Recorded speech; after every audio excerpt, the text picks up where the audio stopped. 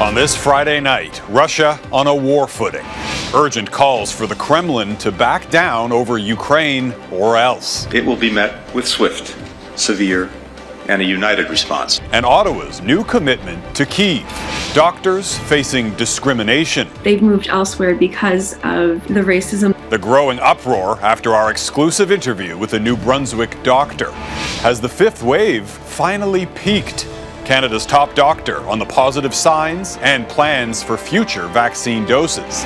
Plus, rest in paradise.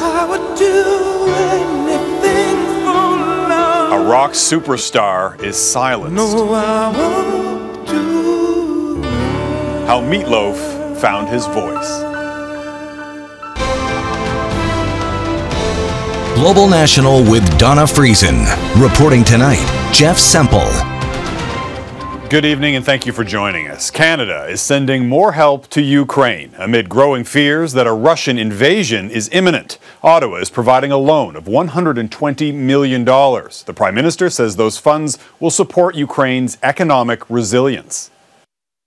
We're also exploring other options to provide financial and other supports. And again, Canada calls on Russia to de escalate and engage in meaningful dialogue. Talks between the U.S. Secretary of State and his Russian counterpart ended today without any breakthrough and a pretty frosty handshake. Both sides did agree that talks should continue, but as Jackson Proskow explains, there's little hope of finding a diplomatic solution. As Russia released new video of military drills and its buildup on Ukraine's doorstep, the country's foreign minister sat down with the U.S. Secretary of State in Geneva, seeking diplomatic deterrence. This was not negotiation, but a candid exchange of concerns and ideas. Amid the unspoken threat of invasion, Russia's Vladimir Putin wants major concessions, a withdrawal of NATO from former Soviet states, and guarantees against future NATO expansion, including into Ukraine. The U.S. will respond to those demands in writing, but is unlikely to concede, and has already vowed a swift and severe response to any Russian invasion. I hope the emotions will cool down, but there are no guarantees, said Russian Foreign Minister Sergei Lavrov. In eastern Ukraine, the situation grows more tense. The U.S. is deploying military helicopters to the region. More countries are sending anti tank weapons and ammunition. Putin, though, may still see an opening, with some NATO members indicating reluctance to respond to anything less than a full scale Russian invasion. What measures will be taken will be agreed among everyone in due course, said Germany's new chancellor. It's not just what Putin will accept, it's just what everybody else will accept. Fiona Hill was the top Russia advisor to several American presidents. With Putin's motives uncertain and his goals unclear, she says avenues away from conflict look increasingly slim. Putin seems to have painted himself into a corner. If there's good news, it's that both sides are still talking, and attempts at diplomacy show no sign of slowing down. The next step could involve another direct conversation between Putin and U.S. President Joe Biden. Jeff? Jackson Proskow in Washington. Thanks, Jackson. The U.S. is also giving the green light for the Baltic states, NATO allies Estonia, Lithuania, and Latvia, to send their American made weapons to support Ukraine. Canada, as mentioned earlier, is sending financial aid, and as Mike Le Couteur explains, Ottawa is also exploring other options. At a time when Ukraine needs military might, Canada is sending money promising up to $120 million in loans to counter Russian aggression and destabilization. We're happy to be there to uh, reinforce the resilience and the strength of Ukraine's economy faced with Russian destabilization, including economic destabilization. Trudeau says the loan was one of the top asks from Ukraine's leadership.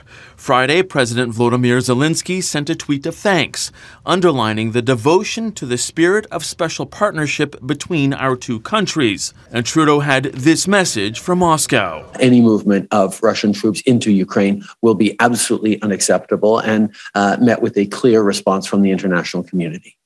But how strongly is Canada willing to respond? Canadian soldiers are already on the ground in Ukraine training their troops as part of Operation Unifier. Behind the scenes, there is contingency planning to take a more aggressive stance.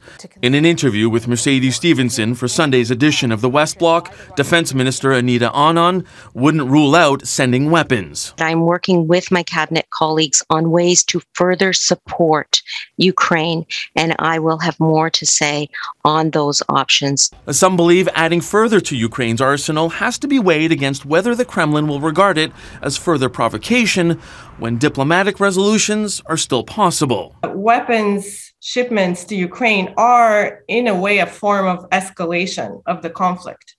Um, of course, Russia sees this as also preparation for war. And for Ukrainian Canadians, these are difficult times. There's a lot of stress. Uh, there's a feeling of helplessness. People are just, uh, you know, focused on doing uh, what they can to con- convince the Canadian government on the next steps. Next steps like economic sanctions against Russia or weapons support for Ukraine. Mike Couteur, Global News, Ottawa. In New Brunswick, there are growing concerns that a controversy, including a doctor, is causing other medical professionals to leave the province. Dr. Jean Robert Ngola says that he was wrongly blamed for causing a COVID 19 outbreak in the spring of 2020. Ross Lord has more on the fallout in the health community and why some say it could undermine the province's immigration efforts. In Campbellton, New Brunswick, a healthcare system that was struggling before the pandemic has become even more short-handed. Four doctors have moved away since 2020, leaving thousands of patients without a family doctor. The most notable departure, Dr. Jean Robert Ngola. He was accused of breaking COVID 19 lockdown rules and of spreading the virus to his patients. There are physicians who feel very uncomfortable with the situation, and some have actually I don't know if the Dr. Ngola case specifically did this, but they've they've moved elsewhere because of the racism that they've experienced. Ngola is suing the New Brunswick government, the RCMP, and Facebook, alleging he was falsely scapegoated after providing health care in Campbellton for seven years. Who attack you? Your patients? The populations? The government? Your hospitals? Dr. Ngola is not fighting for justice alone. He has the support of a large number of colleagues. More than 600 doctors across Canada wrote a letter to New Brunswick Premier Blaine Higgs, asking Higgs to apologize for his part in two investigations of Ngola, both of which were dropped. Advocates for immigrants fear the treatment of Dr. Ngola, an immigrant from Congo, could undermine New Brunswick's ambitious efforts to bring in 10,000 newcomers per year to fill labor market shortages.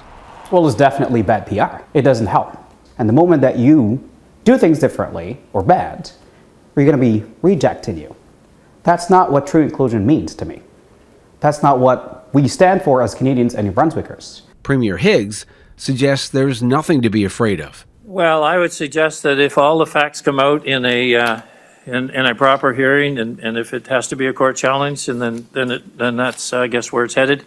Uh, that will allay those fears. Meanwhile, the province has made an urgent plea for doctors who can help with New Brunswick's pandemic response. Ross Lord, Global News, Campbellton, New Brunswick. To the pandemic now, and hopeful signs that the Omicron fueled fifth wave may have peaked. Canada's top doctor says case counts, test positivity, and wastewater surveillance all show that infections are falling. But Theresa Tam also warns that hospitalization rates and deaths remain high. Over the past week, an average of over 10,000 people with COVID 19 were being treated in our hospitals each day, surpassing peak daily numbers for all previous waves of the pandemic. This includes over 1,100 people in intensive care units, which is higher than all but the third wave peak.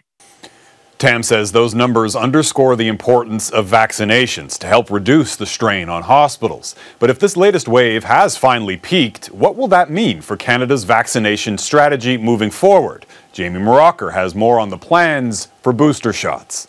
More Canadians have been infected with COVID 19 during this wave than any before but more have also been vaccinated. It's better to be secure than, you know. The latest data show just over a third of Canadians already have a third dose. But new Ipsos polling conducted for Global News reveals many aren't eager to get additional shots beyond that. More than half, 56%, express some concern and wonder how many more we may need. I think it's ri- ridiculous to think that we should be getting, you know, a vaccine every four or six months, you know, indefinitely. Data from Israel found fourth doses less effective against Omicron. Experts here agree immunocompromised people warrant an additional boost, but there isn't a clear consensus for everyone else. We need to see now um, what will happen to protection over time um, with third doses. Vaccine manufacturers aren't waiting. Moderna says it hopes to produce a shot capable of tackling multiple variants. The point of actually creating boosters that have different vaccine sort of uh, strains inside of them is to actually shock your immune system a little bit and get it to grow and broaden its immune response. The company is also in phase two trials for a combined flu COVID RSV vaccine. But Dr. Peter Hotez, one of the developers of a patent free COVID vaccine formula, says until we vaccinate the world, new mutations will emerge. Mother Nature's not being coy with us. She's telling us what she's going to do because she's done it twice. It's going to happen again. We are going to have another major variant of concern. Canada's top doctor says we aren't ready to commit to a new vaccine strategy. I think the global opinion at this point is that the Omicron virus is going to be with us for some time. So we do need to take a longer term approach. Waiting for more data to make a decision that will ultimately impact Canadians' health for years to come. Jamie Mauracher, Global News, Toronto. British Columbia has announced a shift in its response to the pandemic. BC's chief public health officer says contact tracing is no longer effective, and everyone should assume that they've been a close contact of someone with the virus.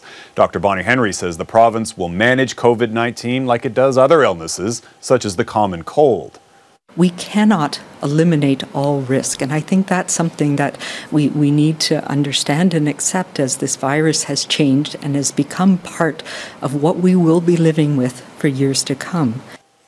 And we have some breaking news now out of Mexico, where there are reports a Canadian tourist has been shot and killed at a resort. Two other Canadians were reportedly also injured in that shooting. It happened today at a resort south of Playa del Carmen. According to the state's security chief, he tweeted that the gunman was also a guest and that police are now hunting for that suspect right now. Global Affairs Canada says it is aware of the reports, but because of privacy concerns, is not releasing any other information. And we're learning more tonight about the circumstances surrounding the tragic deaths of four people, including a baby, near the U.S. border in Manitoba. Court documents suggest the suspect in the alleged human smuggling operation may have been part of three other cases. Brittany Greenslade reports.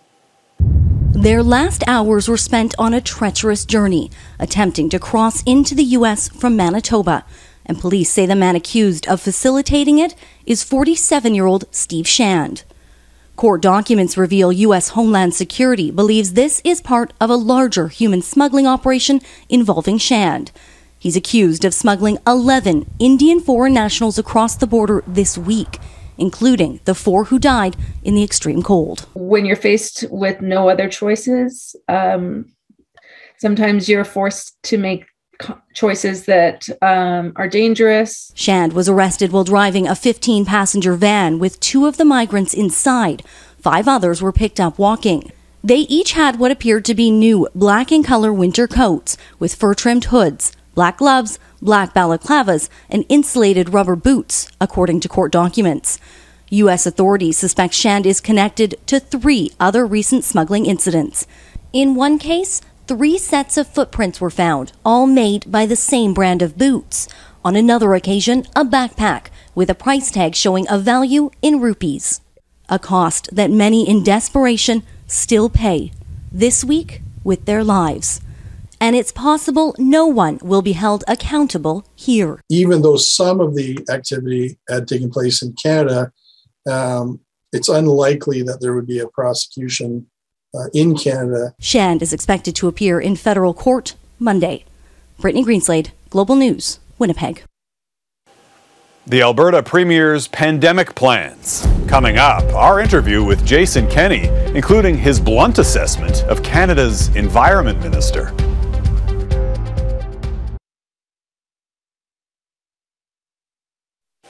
Alberta Premier Jason Kenney says there are signs that province has reached and surpassed its peak of COVID 19 cases in the fifth wave, but he's also warning that record high hospitalizations are rising and putting a huge strain on healthcare resources.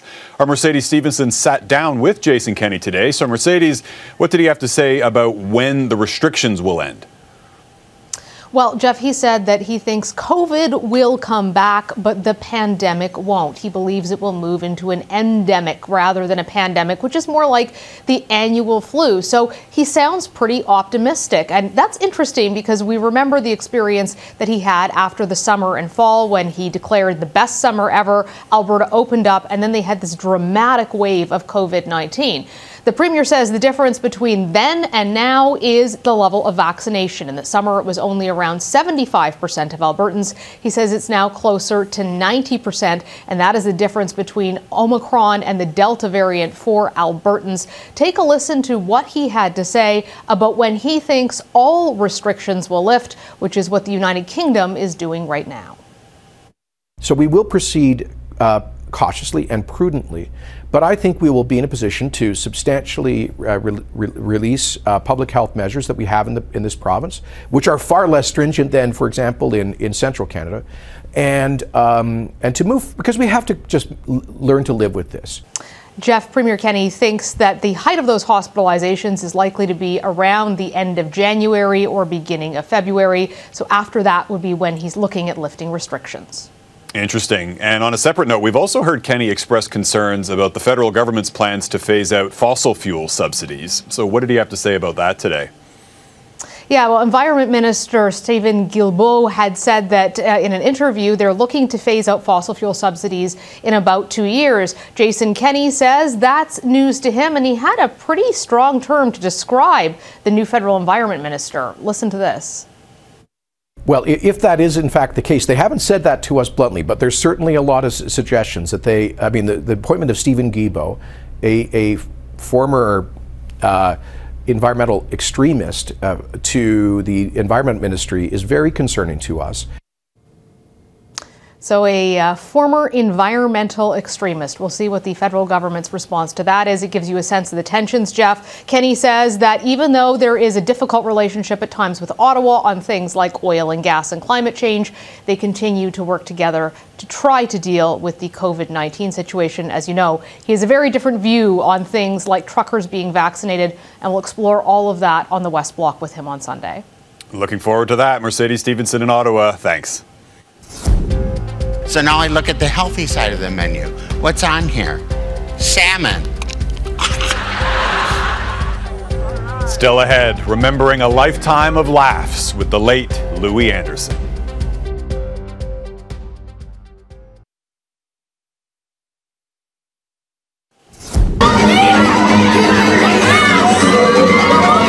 A young Boston Bruins fan got quite the surprise from an NHL star last night. Hey, what's up? This is BM63. Just walking off from uh, warm-ups. Hope uh, I don't know whose phone this is, but uh, hope you have a lot of fun tonight because I know I'm going to. That is Halifax-born Brad Marchand recording a message on a fan's phone following the pregame skate. Now, the night didn't quite go as planned. Marchand left the game after taking a big hit, but his Bruins did defeat the visiting Washington Capitals 4-3. Pop superstar Adele broke down in tears as she announced that she's postponing her highly anticipated Las Vegas residency. My show ain't ready. We've tried absolutely everything that we can to put it together in time and for it to be good enough for you, but we've been absolutely destroyed by delivery delays and COVID. Adele made the emotional announcement on Instagram, adding that half of her team has COVID 19. The 24 date residency was supposed to kick off at Caesars Palace tonight.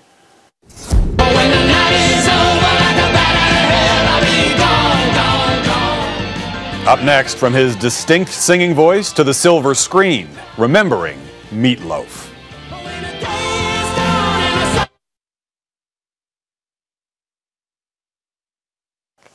Louie Anderson, whose comedy and acting career spanned more than four decades, has died. The only time I want to eat salmon is when I'm watching the Animal Planet and a grizzly plucks one from a stream. I think to myself, I should give salmon another try. He makes it look so delicious. Anderson got his big break as a stand up comic in the 80s, but became a regular on TV with his cartoon series Life with Louie. Anderson was nominated for an Emmy four times and won in 2016 for his role on Baskets. Anderson was 68 years old. And one of rock music's biggest stars has also died. Meat Loaf, the singer and actor best known for the album Bat Out of Hell, was 74. Mike Drolet has more on his rock and roll legacy.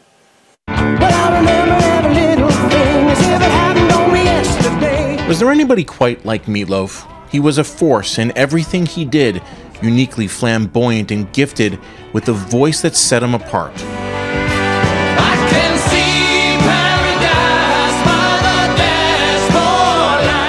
He had a peculiar kind of voice. He was known as a Helden tenor.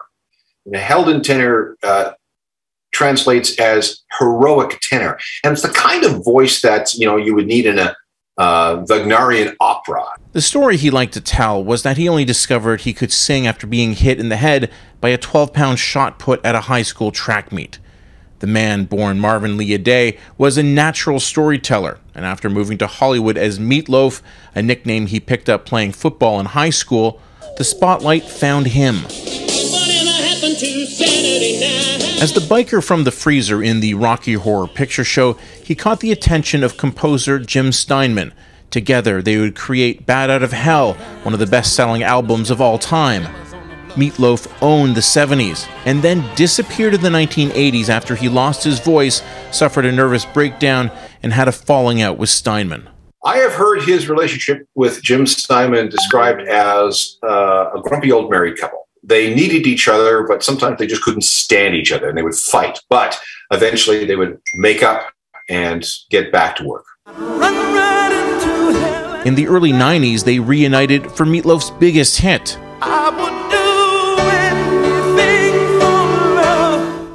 And he rediscovered his love of acting. My name is Bob. Bob. He appeared in 65 films and kept touring refusing to stop even after collapsing on stage, because with Meat Loaf, there was always another act. Mike Drolet, Global News Toronto.